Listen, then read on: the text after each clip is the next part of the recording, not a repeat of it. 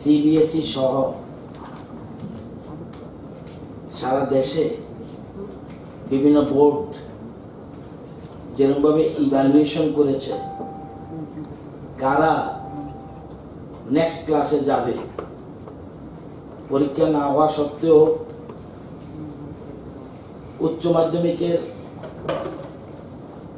কিছু কিছু বিষয় আছে ক্লাস ক্লাস ইলেভেনের ক্লাস ইলেভেনের পরীক্ষা এবং ক্লাস টেনের পরীক্ষার রেজাল্ট এবং মাধ্যমিকের ক্ষেত্রে প্রি বোর্ড এবং ক্লাস নাইনের রেজাল্ট যা যা স্কুল থেকে এসছে,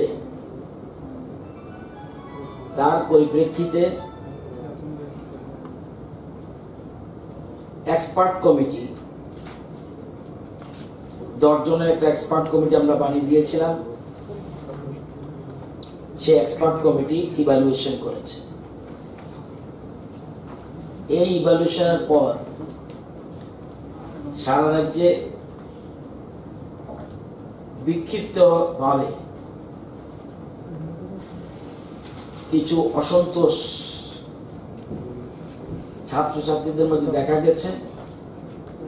যদিও বিরাট আকারে নয় তবু যেহেতু অসন্তোষ দেখা দিয়েছে এই জন্য বোর্ড কর্তৃপক্ষকে মধ্যশিক্ষা পর্ষদকে আমরা রাজ্য সরকারের তরফ থেকে জানিয়ে দিয়েছি যে আপনারা এই বিষয়টা রিভিউ করুন।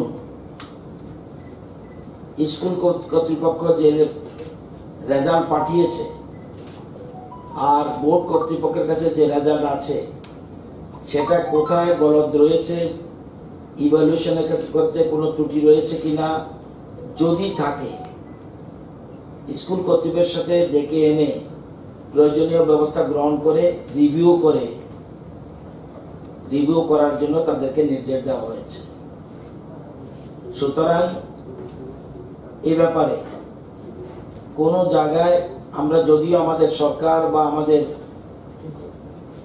যে দল থেকে আমি নির্বাচিত হয়েছি, কোনো আন্দোলনে আমরা বিশ্বাসী নই।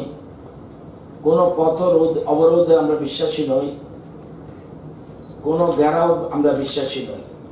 আমাদের কাছে নলেজে আসলে, যে বিষয় যখন নলেজে আসবে, তৎসঙ্গে আমরা এ ব্যাপারে গুরুত্ব বিবেচনা করি।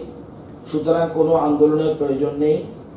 বোর্ড কর্তৃপক্ষকে নির্দেশ দেওয়া হয়েছে, তারা যেন পুরো বিষয়টা রিভিউ করে, কোথায় ভুলভ্রান্তি রয়েছে সেটা যেন মীমাংসা করে নেয়।